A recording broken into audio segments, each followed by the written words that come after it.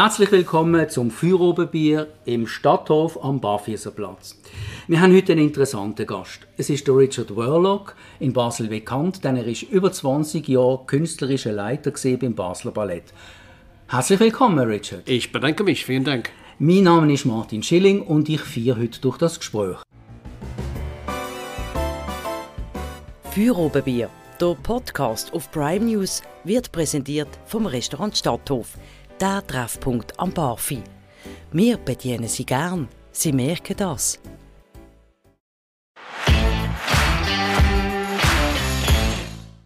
Heute führen wir das Gespräch in Standardsprache, denn Richard Worlock versteht verständlicherweise Standardsprache besser als Dialekt. Also nochmal herzlich willkommen und meine erste Frage gleich. Du stammst ja aus Bristol. Wirst du künftig das Basler Feierabendbier eintauschen gegen ein Pint in einem britischen Pub? Bleibst du in Basel? Ich bleibe in Basel und ich bin ganz, ganz ein, ein stolzer Basler geworden. Ist natürlich, denn äh, mein Sprach ist natürlich, man kann das Akzent nie ändern. Ist denn so, so, so geblieben. Trotzdem, ich fühle mich dann wirklich dann so äh, hier zu Heim. Das mhm. ist mein, mein, mein Heim. Ich kann sowieso ein Pint in Paddies irgendwie so, so trinken. Natürlich dann the roots in the roots. Und bin ich dann immer ganz happy, wenn ich dann, ich habe immer noch so eine Mutter, sie dann 94, in, außerhalb von London. Ähm, ich bin immer ganz happy, wenn ich zurückgehe zum, äh, nach London. Äh, und äh, ich bin immer noch happy, weil es dann nur ein Flugzeug war knapp eine Stunde, zehn Minuten. Mhm. Ist dann wunderbar. Das, das ja. Basel ist eine verknüpfte, wunderbare Stadt. Das wollte ich als nächstes fragen. Du bist jetzt 20 Jahre, über 20 Jahre in Basel. So rückblickend, war das eine glückliche Zeit?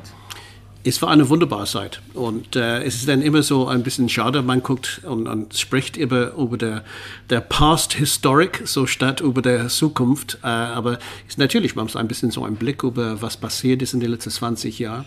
Mhm. Und äh, ich würde sagen, ich bin ein stolzer Künstler mhm. in das Theater Basel. Habe ja. dann viel erlebt, viele tolle Dinge, manchmal Dinge, das geht über finanzielle Kürzungen und mhm. sowas etc. Das kennen wir in der, in der Kunst. Aber gleichzeitig bin ich ein Riesenambassador für, für die Stadt und für natürlich für das Region und überall die ganze Schweiz. Wir haben so das, ähm, das Company von hier, ja. Basel. Wir haben weltweit Tournee gemacht über die ganze Welt und das Name von Basel wird dann überall gebracht. Und das hat dir die Stadt ja auch gedankt. Du hast einen Stern im Basler Walk of Fame gleich neben Roger Feber. Also es scheint eine gegenseitige Sympathie und Liebe zu sein. Absolut, absolut. Und ich glaube, wenn man, und ich muss ganz ehrlich sagen, das ist natürlich äh, sehr, sehr interessant, wenn eine Stadt, Stadt macht die Arme auf, dann sagt, willkommen in unserer Stadt. Und das war eine wunderschöne äh, Welcome-Situation. Äh, Manchmal hat er in Englisch so eine Welcome-Mat, wo man äh, auf, vor der Tür steht, wo man die, die, die, die, die Beine und die Schuhe irgendwie so putzt. Das war nicht der Fall hier. Ja. Der Fall war wirklich Akzeptanz und äh, es ist dann wunderbar. Das war ja nicht unbedingt vorauszusehen. Ich war etwas überrascht, als ich erfuhr, dass du ursprünglich Koch gelernt hast. Erst mit 16 bist du überhaupt zum Tanzen gekommen. Wie muss ich mir diesen gewaltigen Sprung vorstellen von einer Gastroküche auf eine Bühne mit Tänzerinnen auf Spitzenschuhen und Tütü und Tänzern in Strumpfhosen? Ich glaube, dass die, die, die, die beide Beruf klingt und hat eine Verknüpfung. Die sind, ja. sind beide. Man muss dann so als Koch, ich war nicht wirklich ein Koch, aus, Koch ausgebildeter Koch. Ich war ein Aide Cuisinier. Mhm. Und äh, das, das heißt, ich war nicht irgendwie so ein, ein Michelin-Star, überhaupt nicht. ich habe dann auch mhm. als Tellerwäscher irgendwie so angefangen und dann ein bisschen Progressing zu machen. Aber was steht auf ein, auf ein Menü? Ein, auf ein Menü steht irgendwie verschiedene Fleisch, Salat, Fisch und etc. Es ist genau wie ich als, als künstlerischer Direktor bringe ich ein Programm für das Kunst für ein Publikum vor. Mhm. Man muss dann immer so, ich, ich, sage immer, Education und Challenge. Mhm. Sehr, sehr, sehr wichtig. Ja, es sind verschiedene Ingredienzien auf einem Teller und ähm, das ist ja auch eigentlich bei deiner Company so. Du legst sehr großen Wert auf Tänzerinnen und Tänzer, die unterschiedliche Hintergründe haben. Unterschiedliche Größen auch, ist mir aufgefallen. Kannst du dazu etwas sagen? Ich bin ein Mensch, ich bin nicht ein großer Fan von Intoleranz mhm. und äh, ich bin ein großer Fan von Differenz. Und das heißt, dass jeder sollte die Möglichkeit, jeder kann tanzen. Nicht jeder kann dann tanzen und Geld verdienen, natürlich. Das ist Ja. eine ganz andere Situation. Aber was ich bin sehr, sehr äh, stolz über unsere Company. Wir haben so Diversity, man, man sieht in unserer Company. Und wir haben eine ganz easy ähm, Philosophy. The philosophy is Respect.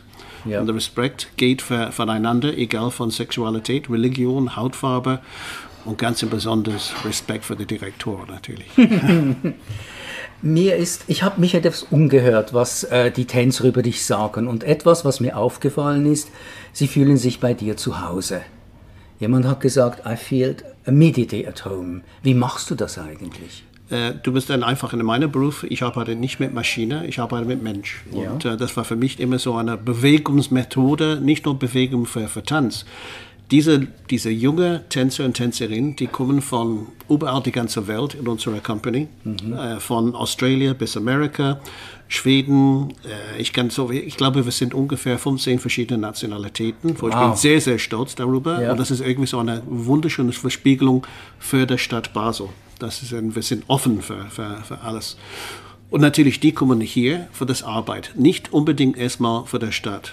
Und peu à peu haben wir re- reagiert, dass die sagen, ich liebe diese Stadt, ich bleibe denn hier.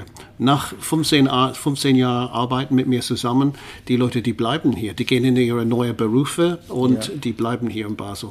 Und was ist denn besser als, ähm, ich bin Mutter, Vater, äh, Stiefvater, ich bin Psychologist, ich bin der Liebhaber und, und alles. Okay. Äh, sollen wir sagen, und äh, ich Ja. habe dann viel erlebt mit, mit jungen Tänzer und Tänzerinnen, dass die kommen und die bringen ihre Familie zusammen und die Ja. Kinder zusammen. Und das ist natürlich Ja. als, äh, als Mensch für mich, das ist ein, ein, ein, ein wunderschönes Geschenk. Ja.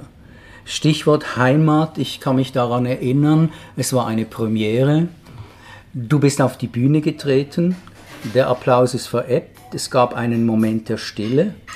Und dann hast du gesagt, im Theater Basel sammeln wir nicht nur für die Ukraine, sondern das Theater Basel soll auch für ukrainische Tänzerinnen und Tänzer ein sicherer Ort sein, ein Safe Harbor. Kannst du das erläutern? Absolut. Und das war für mich, dass äh, man muss dann, ich denke, man, man muss dann immer, immer reagieren für die. Wir haben ein tolles Leben. Wir haben ein, ein tolles, äh, hier in der Schweiz, wir haben so wirklich äh, eine privilegierte Situation. Und dafür von dieser Privileg sollen wir auch die Möglichkeit, andere Leute mit den offenen Armen, wie ich habe das äh, akzeptiert von dieser Stadt, auch für die anderen, die, die, die haben, wie man sagt auf Englisch, those who have less can become more from us who want to offer. Und äh, für mich, das war sehr, sehr wichtig. Und wir haben so jetzt in unserer Ballettschule, wir haben so zehn junge Tänzer und Tänzerinnen ähm, in, in die Schule angebracht mit der Familie. Die sind in Sicherheit, die sind in einer guten Situation. Und natürlich, die, die wollen hier, dass, dass ihr Studium geht dann weiter. Aber der Wunsch ist, zu Hause zu gehen. Das kann man Das ist sehr gut etwas ganz nachvollziehen. Ja. Du hast einmal gesagt, eine Company sollte multitalentiert sein. Mhm. Ähm, diese verschiedenen kulturellen Hintergründe, wie arbeitest du diese ein in eine Choreografie? Mhm. Wie machst du das? Ich glaube, das kommt von, äh, von einer von deinen ersten Fragen, ist natürlich, wie man baut ein, ein Repertoire auf. Ja. Und erstmal muss man fragen, was braucht eine Stadt? Wo ist der Challenges für eine Stadt, für eine Region? Was ist denn sehr, sehr wichtig? Muss man immer so ähm, sehr bekannte Stücke bringen und müssen wir auch dann auch Challenges bringen? Das heißt, andere Choreografen und etc. Und das heißt für unsere Tänzer und Tänzerinnen, dass auf einen Tag die tanzen, äh, sollen wir sagen, Schwanensee in einer modernen Version. Zwei Tage später tanzen sie in ein ganz anderes ähm, Milieu von, von, von Tanz, von einem anderen Choreograf. Das heißt, die mussten dann springen von wie ein Aktor, von einer Shakespeare und dann, dann plötzlich in ein neu geschriebenes Stück. Und auch, dass unsere Arbeit hier in der Situation in, in, in Basel ist, dass wir müssen auch neue Stücke kreieren. Das ist natürlich dann immer sehr, sehr wichtig. Und dafür braucht man wirklich ein Ensemble. Und wir sind ein Ensemble. Wir haben keine Hierarchie in der Company. Ja. Wir sind ein Ensemble. Das heißt, ein Pool of Talent. Und dafür ist dann sehr, sehr wichtig. Wir haben so Leute, die sind eine Stärke in eine Richtung und eine Stärke in die andere Richtung. Und äh, ganz altmodisch, man hat immer gedacht, dass äh, bei der Tanz die Männer müssen dann eben immer die, die Frauen heben. Ja, und bei ja, uns ja. ist das ganz anders. Das, das, das, das muss immer so einen Wechsel geben. So die Frauen heben Ja. die, die Frauen und genau wie die Jungs die Jungs. Und Mhm. äh, das ist dann natürlich, und dafür mussten die multitalentiert von einem Stück zum anderen zu springen mit verschiedener Choreografie. Du holst ja auch immer wieder ähm, fremde Choreografen aus der ganzen Welt nach Basel, die dann ihre Choreografien zeigen. Hat dich das selber beeinflusst? Hat das die Company beeinflusst? Dieser ständige Austausch auch mit anderen Choreografen? Ich denke, das ist sehr, sehr wichtig, weil wenn irgendwie so eine Choreograf macht die ganze Arbeit, erstmal wird die Tänze lang gewahrt und das Publikum wird dann lang gewahrt. Es ist immer sehr gut, eine, eine, eine gute, ich sorry, ich komme dann wieder auf der alte Situation, ein gutes Menü, ein gutes Speisekarte Ja. irgendwie so, so liefern. Und äh, manchmal, äh, wir haben so einen riesen Hit, manchmal wir haben so einen etwas eine wenige Hit, aber das zeigt, dass der Company hier, die sind bereit, alles zu machen. Mit einem offenen Publikum hier, was natürlich dann sehr, sehr wichtig ist. Das kann ich mir sehr gut. Mir ist auch aufgefallen, dass deine Tänzerinnen und Tänzer oft in Straßenkleidung tanzen. Also weg vom, ich habe vom Tütü und vom Spitzenschuh Ja. hin zu ganz normaler Kleidung. meisten von die alle, die haben das vorher gemacht. Die haben so in klassisches Ballett-Companies äh, getanzt und ich habe dann viele Choreografien von mir selbst in, äh, in die, auf der Spitzenschuhe etc. Und- Aber das ist genau wie jeder äh, Maler geht durch, äh, sozusagen Picasso geht durch sein Blue Time, sein Pink Time und äh, es ist genau wie ein Choreograf. Und ein Choreograf geht durch diese Development, sagen wir so. Also ein Development, weil ich denke, wenn ich als, als junger Choreograf, es war immer genannt in jeder Kritik, der junge, dynamische äh, Choreograf Richard Warlock. Und jetzt bin ich dann in der Zeit jetzt, was, was ganz toll ist, und, und dass da die, die, die Journalisten, die schauen das an, die sagen, ah, das ist ein Warlock-Stück oder das ist dann ein anderer Kopfstück. Dann Man hat so wirklich etwas geschafft, sozusagen Ja. einen Stil, einen Ja. Stil zu schaffen. Das würde mich jetzt noch interessieren. Was ist denn ein typisches Warlock-Stück? Eine typische, was zeichnet deine spezifische Choreografie aus? Ich denke, was, wenn man fragt, einer von meinen Assistent oder Assistentin, die würde Ja. sagen, zu viele Schritte. Alles so schnell und Ja. äh, alles dann. Äh, aber was ich denke, dass, äh, wenn ich schaue über die, die ganze letztes, letztes Jahr, ähm, bei Handlungsballett zum Beispiel, da gibt es immer, und ich, äh, gibt sehr, sehr viele Emotionen. Ich habe dann sehr viele Stücke gemacht mit zum Beispiel mit Klezmer-Musik. Ich Ja. habe dann auch sehr viel mit, Ja. äh, mit moderner Musik, auch die ganze klassische Musik und, äh, und diese, dieser Wechsel ist immer für mich dann sehr, sehr wichtig. Und für das Publikum auch und für die Natürlich, Tänzer ja, sehr, sehr, sehr wichtig. Wir haben ja schon darüber gesprochen, dass deine Kompanie äh, sehr divers ist, sehr unterschiedliche Tänzerinnen und Tänzer, sehr unterschiedliche Zugänge. Trotzdem meine Frage, was ist für dich ein guter Tänzer, eine gute Tänzerin? Woran erkennt man einen guten Tänzer? Erstmal Ohren steif, Ohren auf, Augen auf und einfach respektieren, dass dieser, dieser Beruf ist einfach ein Privileg. Und ähm, es ist ein bisschen so, man kann sagen, man kann das sehen als ein bisschen Militär, weil das ist dann sehr, sehr diszipliniert, aber mit, immer mit einem Human Touch. Und mit diesem Human Touch, das ist so, so, so wichtig, dass die Leute, die haben so wirklich ein, eine Situation, wo die, die haben das Gefühl, die sind frei und die können selbst Expression machen und sowas. Und nicht irgendwie so, irgendwie so umgehängt und die dürfen nichts sagen. Und bei uns das ist es ganz anders. Dass, dass jeder hat so ein, ein Voice. Und äh, natürlich, man braucht immer so eine Leader, das irgendwie so zu dirigieren. Aber jeder hat so eine Voice, jeder hat so eine Spezialität und man muss das respektieren. Gegenüber von, von beider Seiten. Jetzt ein Tänzer hört ja auf zu tanzen so Mitte 30 und da steckt er eigentlich noch mitten im Leben. Ja, ja. Ich habe gehört, du hast dir auch darüber Gedanken gemacht. Äh, Na, natürlich, für mich, das war sehr wichtig. Ich, ich sage, ich habe ein ganz interessantes äh, Beispiel. Ich, ich spreche jetzt immer über ein Loaf of Bread, ein Brot. Und ganz am Anfang, du hast ja die erste Schneiderei hier, da, und hast die junge Talent. Ja. Und in der Mitte hast du dann wirklich der Company. Und am Schluss hat man so wirklich die Leute, die sind in Transition. Und für die jungen Leute, ich habe dann sehr, sehr viel gemacht. Sehr, sehr viel. Und ich arbeite sehr, sehr stark für das Company natürlich. Ähm, auch sehr, sehr viel für diese Transition Period. Und äh, ich habe einen Fonds äh, aufgegründet für, für diese Transition Ja. für Tänzer, wie du gerade gesagt hast, die sind in die Alter von 35, 37, 38, was immer noch jung, ein bisschen so wie eine Fußballer, aber natürlich dann ohne die gleiche Geld. Äh, und äh, wir haben diesen Fonds gemacht und jedes Ticket, was ihr im Theater verkauft für, für das Ballett, bekommt kommt dieser Fonds 50 Rappen. Und okay. natürlich, man kann das, der mehr Erfolg, das wir haben, der mehr Geld kommt in diese Situation. Klar. Und Privatleute, die können auch äh, in diesen Fonds Geld geben. Und Privatleute ja. haben das auch gemacht, weil die respektieren ganz genau, was wir machen. Ja. Gibt es denn im Theater Basel auch Beispiele für Umschulungen von Tänzerinnen und Tänzern, die jetzt vielleicht einen anderen Job haben? Absolut. Wir haben so, ja. äh, wir haben äh, unsere, wir haben einen Bühnenmeister, ist eine Ex-Tänzer, oh, arbeitet ja. als Techniker. Wir haben so Leute, dass die arbeiten in der Kostümabteilung. Wir haben einen Spezient. Ein Spezient ist dann jemand, so wirklich dann äh, dirigiert die ganze Show. Mhm. Ist, äh, und er ist ein, auch eine Ex-Tänzer.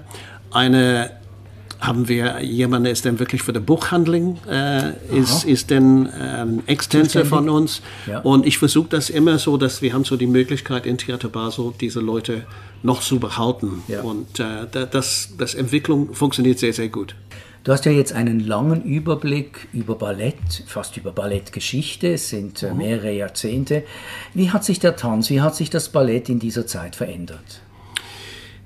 Es ist es war immer und wird immer so ein großer Kampf zu sein. War das, das, das Tanz hat immer so, so ein bisschen so der dritte Rad in einer Situation, immer der Situation gehabt. Ich merke jetzt, das ist dann besser geworden. Ah. Gibt es dann viel mehr Respekt jetzt für unseren Beruf? War früher, das war immer so, ähm, sollen wir sagen, post äh, Billy Elliot, das Film, ja, hat ja. viel mehr Leute so wirklich dann an verstanden, wirklich dann was, was das bedeutet.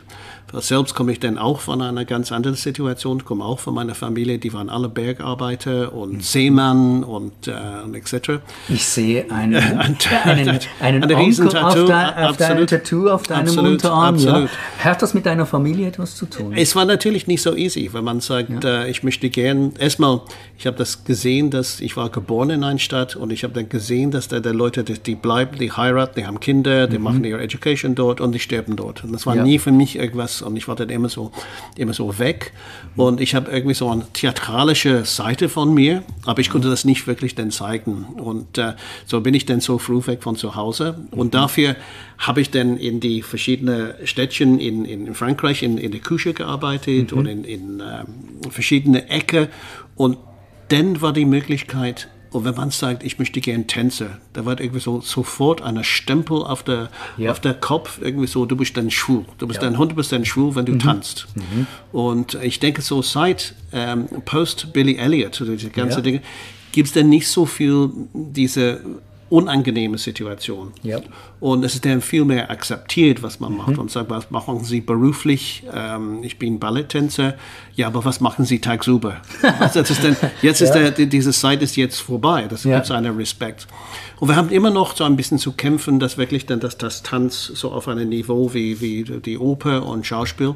Aber das gehört irgendwie so dazu, diese, diese, diese, diese Physical Tanz äh, Situation. Aber ich, wir haben so wirklich dann viel entwickelt in der letzten Zeit. Education ist viel besser geworden. Ja. Gibt es dann viel mehr, äh, früher, man hat gesagt, ähm, wenn eine freie Stelle hat, so für ein Mädchen, es war easy. Ja. Und es war schwer, irgendwie so Männer so, so, so finden. Und jetzt ist es wirklich ganz anders. Es, dann gibt dann so viele Männer und das ist dann auch diese Entwicklung von Straßentanz, von Urban Tanz, mhm. von, von Hip-Hop und sowas, gibt es dann viel mehr Akzeptanz. Und das yep. Tanz ist dann wirklich dann in eine, eine gute Richtung gegangen. Wir sind auf einem guten Weg. Mhm. Wir arbeiten, ich habe auch an jetzt ein Educational Unit in, in, in, in, unserer Company. Das heißt, wir gehen draußen auf die Schule, das irgendwie so, das wirklich ja. dann, und wir bringen junge Leute viel mehr in, in, äh, in das ja. Tanz. Und ich sehe das sehr, sehr positiv für die Zukunft. Ja. Zukunft ist ein Stichwort. Äh, beim nächsten Teil unseres Gesprächs werden wir uns mit deiner Zukunft beschäftigen und vielleicht auch mit der Zukunft des Tanzes. Richard, du hast eine jahrzehntelange Erfahrung als Tänzer, als innovativer Choreograf. Du hast ein großes Netzwerk an Tänzerinnen und Tänzern, an Choreografen, an Künstlerinnen und Künstlern aufgebaut. Und jetzt, was machst du? Wie gehst du damit um, wenn deine Arbeit am Theater Basel mhm. der Spielzeit 22-23 endet? Ich denke, es ist sehr, sehr interessant, weil ich habe dann äh, natürlich, man guckt ein bisschen auf der Pension äh, und sagt, okay, wie viel Geld kommt dann danach und sowas. Mhm. Und man muss dann schauen und ich habe dann angeschaut und mein erster Vertrag habe ich dann untergeschrieben in 1974. Das heißt, ich bin seitdem aus in, in das Theater beschäftigt mhm. und da war immer, immer sehr beschäftigt aus, aus Tänzer und dann als Choreograf und als Direktor und Choreograf. Und jetzt nach so viele, viele Jahren kommt dann die Möglichkeit jetzt, der Thron zu wechseln. So mhm. wirklich dann so jemand anderes der Chance zu geben. Und mhm. ähm, wir haben so gesprochen über, über Menschlichkeit. Und ich ja. bin ein sehr menschlicher äh, Direktor. Ja. Ich, bin, ich arbeite nicht mit einer Peitsche, überhaupt ja. nicht. Immer mit Encouragement, immer mit Encouragement. Und die, die Möglichkeit, man guckt immer so der positive Zukunft. Und ähm, jetzt ist der Zeit für mich zu denken. Ja. Ich habe meine Kinder sind jetzt, äh, sind, sind jetzt weg von zu Hause ja. und keine in der, in der Tanzwelt, keine im Theater. Ja. Ähm, und jetzt zu denken, was mache ich jetzt mit meiner. Ja. Und dafür habe ich dann viele Projekte auf der, soll ich sagen, auf der Hinter mhm. ähm, Koch irgendwie mhm. so hingelegt. Im Hinterkopf. Und, ja. ja. Und dann jetzt ähm, kann ich dann jetzt machen. Ich werde dann in Amerika sehr viel machen.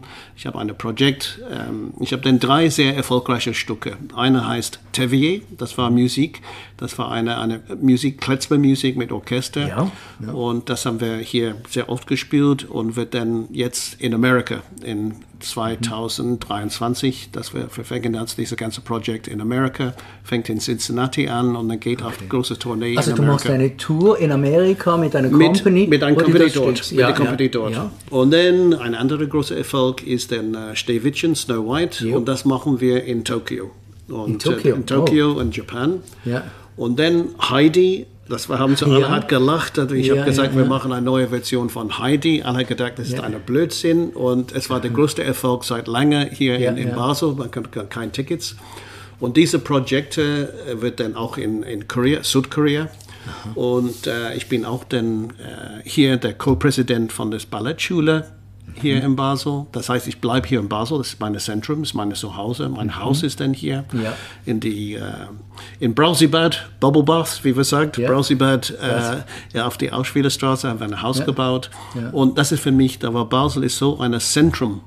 Ich bin schnell weg und schnell wieder zu Hause, wenn kein äh, Covid dabei ist und sowas. Ja, ist dann absolut.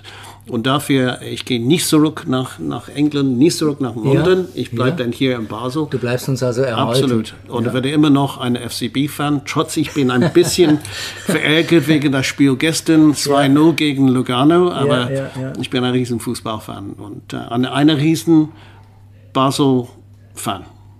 Das freut uns sehr. Das ist ein wunderbares Schlusswort. Wir danken dir ganz herzlich für dieses interessante Gespräch, Richard Warlock. Ich bin zu danken. Vielen, vielen Dank. Für Oberbier. Der Podcast auf Prime News wird präsentiert vom Restaurant Stadthof, der Treffpunkt am Barfi. Wir bedienen Sie gern. Sie merken das.